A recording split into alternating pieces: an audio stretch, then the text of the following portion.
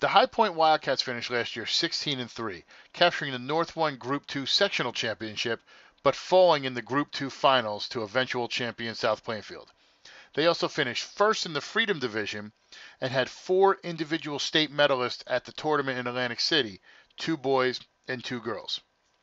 Returning a number of starters from last year's team, head coach John Gardner, entering his 22nd year, realizes the key to success is blending the wrestlers who have been working all offseason with the ones who haven't had the opportunity. I've been battling the weather a little bit here in the early part of the season, but you know that's that's something we have to deal with up here at High Point.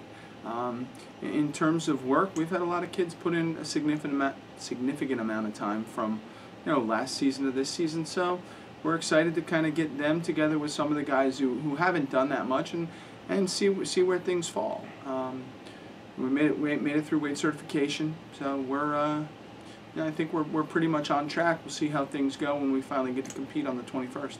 A wrestler ready to compete is senior Billy Talmadge, who finished last year fifth at 138. He knows what he wants to pass on to the next generation of High Point wrestlers, something that was passed on to him. Um, tradition. Um, we always pass down the tradition and um, yeah, just keep it rolling. In addition to Talmadge, fellow senior Devin Leibel and sophomores Clayton Utter and Brian Saldano should be solid contributors for the team. I really like this Wildcat squad.